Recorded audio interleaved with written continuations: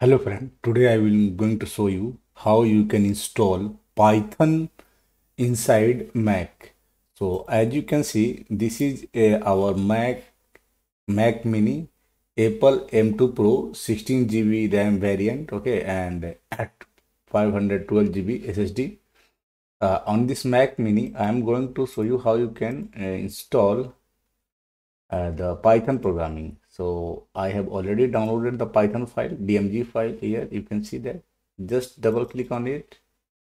And once you click click on continue click on continue click on continue agree.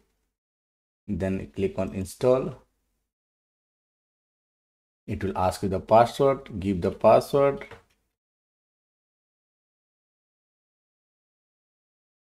And it will install the python program inside your macOS and done. Python has been installed successfully inside this system.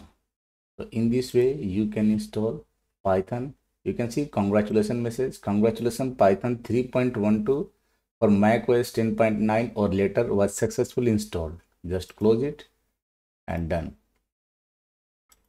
Okay. So in this way, you can install Python program inside your Mac whether it is M1 or M2. Thank you. Thank you for watching.